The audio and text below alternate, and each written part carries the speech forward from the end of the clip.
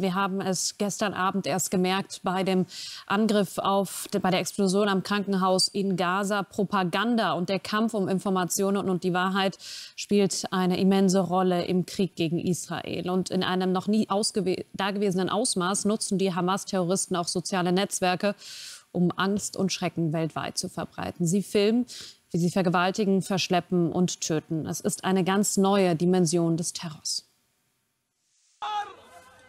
Das Leid und der Schmerz der Opfer der Hamas-Terroristen ist unvorstellbar und trotzdem hat man es genau vor Augen. Denn die radikal-islamischen Barbaren filmen ihre Taten. Es ist eine noch nie dagewesene Form des Social-Media-Terrorismus. Mütter, die Textnachrichten ihrer entführten Kinder bekommen oder gar Videos ihrer Ermordung. Und das alles mit einem Ziel, das Leid der Menschen so sehr wie möglich zu vergrößern. Es gehört mit zur Kriegführung dazu, dass man versucht, den Gegner zu demoralisieren, dass man versucht, die Bevölkerung des äh, angenommenen Gegners zu beeinflussen durch psychologische Operationen, ähm, um den Willen zu brechen, um auch den Rückhalt zum Beispiel für die eigene Armee zu brechen. Und das geschieht auf vielerlei Arten, Arten und Weisen. Das machen Kriegsparteien immer. Äh, und das macht die Hamas ja auch natürlich sehr, sehr geschickt, indem sie ganz, ganz bewusst mit äh, erwartbaren Emotionen von westlich geprägten Gesellschaften spielt, also mit dem Schicksal von Einzelpersonen zum Beispiel äh, und ganz bewusst hier diese, äh, sage ich mal, Filme auch abfährt. Und das völlig unkontrolliert, denn Plattformen wie X oder Facebook kommen kaum hinterher. Es scheint eine nicht endende Anzahl an Hamas-Profilen zu geben, die die Videos verbreiten. Der Facebook-Mutterkonzern Meta hat mittlerweile einen Krisenstab eingerichtet und nach eigenen Angaben hunderttausende Inhalte gelöscht.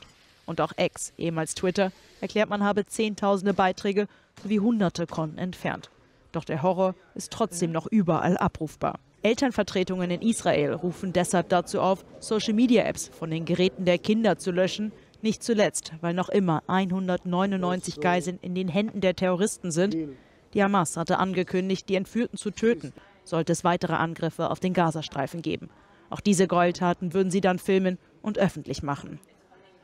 Doch genau die Geiseln und die für die Familien kaum zu ertragende Ungewissheit sorgt auch dafür, dass viele jedes Foto oder jedes Video ganz genau anschauen. Es ist aktuell ihre einzige Hoffnung auf ein Lebenszeichen ihrer Liebsten. Unter den insgesamt knapp 200 Geiseln der Hamas werden nach Angaben des Auswärtigen Amtes derzeit auch acht Menschen mit deutscher Staatsbürgerschaft vermutet. Kontakt zu den Geiseln gab es bislang nicht. Auch die Angehörigen der Geiseln baten um die internationale Hilfe. Wir haben keine Zeit mehr, wir müssen schnell handeln, so die Mutter einer mutmaßlichen Geisel bei einer auf YouTube übertragenen Pressekonferenz. Bundeskanzler Scholz müsse sich für die Freilassung der Menschen einsetzen. Sie müssten rausgeholt werden, so der Vater und Ehemann einer entführten Familie. Und bei mir im Studio ist jetzt äh, Ricarda Luke. Sie sind Mutter der verschleppten Shani Luke. Dankeschön, dass Sie sich die Zeit nehmen. Dankeschön, dass Sie hier bei uns sind und mit uns sprechen in dieser, ähm, ja, in dieser Situation, die wir alle, glaube ich, nicht nachvollziehen können. Deswegen erstmal vielen, vielen Dank, dass Sie bei uns sind. Ja, danke. Ähm, Sie haben gestern eine sehr emotionale Pressekonferenz gegeben und auch ähm, von Ihrem Gespräch mit dem Bundeskanzler berichtet. Hat sich denn seitdem etwas gegeben? Gibt es neue Entwicklungen? Nein, es gibt nichts Neues. Also das ist noch ein bisschen zu neu. Das war erst gestern Abend und wir sind jetzt direkt heute nach eben Berlin geflogen und wir treffen uns auch morgen noch mit einigen Politikern und am Bundestag und Medien und wir versuchen eben so viel Druck wie möglich zu machen, dass wir also wirklich Taten sehen und Maßnahmen, weil die Zeit knapp wird. Also so länger die Geiseln dort festgehalten werden, umso geringer sind die Chancen, dass sie in Ordnung zurückzukommen. Also wir haben ältere Leute, kleine Kinder. Meine Tochter ist wahrscheinlich schwer verletzt und umso länger man wartet, umso schlimmer wird es. Also mhm. wir brauchen wirklich Taten also, und nicht nur Gespräche. Sie sagen, Sie fordern Taten. Was genau könnte helfen oder was könnte etwas bringen? Sind das Verhandlungen mit den Hamas? Muss man die Verhandlungen. Also ich meine, dass äh, in Deutschland doch viel bessere äh, Möglichkeiten hat mit, mit Gesprächspartnern als Israel im Moment. Sie haben bessere Verbindungen, sie haben sehr starke Kraft. Also und zusammen mit Amerika und anderen äh, Staaten, wo Geiseln haben, dass die mehr Druck aufüben auf die Vermittlerländer, sagen wir mal so, und, und dann was erreichen können. Und, und die ersten Maßnahmen werden wirklich, dass wir sehen, äh, wie es den Geiseln geht. wer ist am Leben, wer ist nicht am Leben, in welcher Verfassung. Das wäre schon mal der erste Schritt. Also bevor man es entlässt, dass man wenigstens ein Lebenszeichen bekommt. Gerade hat auch US-Präsident Joe Biden gesprochen. Er war ja heute in Israel und er hat gesagt ähm, äh, an die ähm, amerikanischen Angehörigen von US-Staatsbürgern äh, gerichtet, von Verschleppten, seien Sie sicher, ähm, wir ergreifen alle Maßnahmen, wir tun alles und ähm, es werden auch Maßnahmen übergriffen. Die Details kann ich in der Öffentlichkeit nicht nennen. Und das lässt ja auch darauf deuten, dass da im Hintergrund Gespräche laufen, diplomatische Bemühungen. Macht mhm. Ihnen dieses so ein Statement vom US-Präsidenten Hoffnung? Ja, ich bin mir sicher, dass auch, auch in Israel, auch mit Amerika, auch mit Deutschland, dass die Gespräche führen und, das, und Verhandlungen stattfinden irgendwo.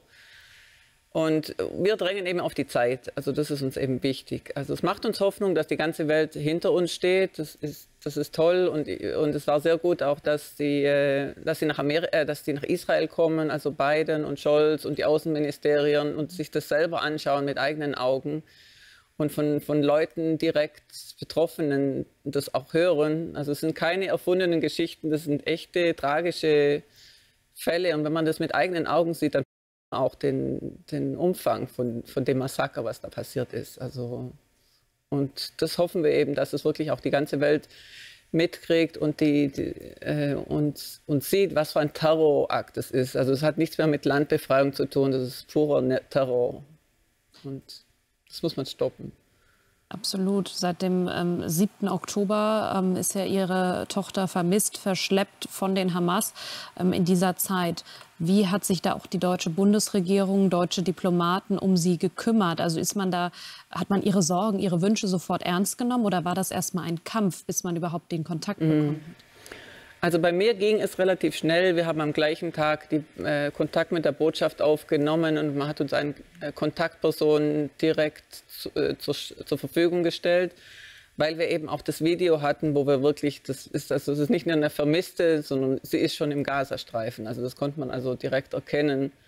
Und die haben es dann schon gleich ernst genommen, aber irgendwie kommt halt nie Information zurück. Also man fragt immer nach, man gibt immer äh, Meldungen weiter, okay, die Kreditkarte ist hier benutzt worden, schaut da mal nach, schaut da mal nach, aber man kommt irgendwie nie sowas zurück. Also einerseits kann man es verstehen, weil wirklich viele Sachen im Hintergrund passieren, wo man nicht veröffentlichen kann, vielleicht an die Familien, aber das macht einen total äh, frustriert, wenn man überhaupt nichts zurückbekommt und man ist total blind. Also das Absolut. ist das Schwierige. Absolut nachvollziehbar. Das heißt, ähm, Sie als Mutter bekommen nicht mehr Informationen von der deutschen Botschaft als jetzt wir als Öffentlichkeit und als Presse? Ja, genau. Auch von Israel, das ist genau das Gleiche. Also wir, wir, wir geben immer alle Nachrichten, wo wir finden könnten, Videos und irgendwas, was mhm. wir mitkriegen, teilen wir den israelischen Behörden und den deutschen Behörden gleich mit. Aber es kommt nie was zurück. So. Und Sie haben sich ja auch, Sie hatten die Möglichkeit, sich wenigstens auszutauschen mit Angehörigen von ähm, anderen Geiseln, anderen mhm. Verschleppten. Ich habe gerade schon über die Pressekonferenz geredet. Ähm, ist das so ein kleiner, minimaler Trost oder hilft das einem in dieser Zeit, sich mit Leuten ähm, auszutauschen oder mit Leuten zusammen zu sein, die das gleiche Schicksal, das gleiche Ziel haben? Ja, es hilft sicher was. Also im, im, ganzen Land, also es sind nicht nur die deutschen Geiseln, sondern auch in Israel Nachbarn und Verwandte und Freunde. Jeder hat so ein Schicksal zu erzählen. Also wir haben Beerdigungen jeden zweiten Tag. Also es ist überall, also alle sind betroffen. Also in jedem Freundeskreis sind so tragische Schicksale passiert und, und es hilft schon, wenn man also viele Freunde hat und jetzt auch die deutsche Gruppe teilen wir also unsere Erfahrungen und das hilft äh, also ein bisschen, ja, auf jeden Fall. Ricarda Luke, ich danke Ihnen ganz herzlich, dass Sie äh, hier gewesen sind. Wir können das alle nicht nachvollziehen, diesen Schmerz. Ganz herzlichen Dank. Ich wünsche Ihnen das Allerbeste. Ähm, ja, wir alle hoffen und äh, ja, ja, danke schön. Danke schön, dass Sie sich die Zeit genommen haben. Ja, danke auch. Noch mehr News, die gibt es bei unserem Nachrichtensender Welt. Einfach den Sendersuchlauf bei eurem Fernseher starten. Die Anleitung dazu, die findet ihr hier. Und wenn ihr spannende Dokus sehen wollt, packende Reportagen, dann müsst ihr einmal hier klicken.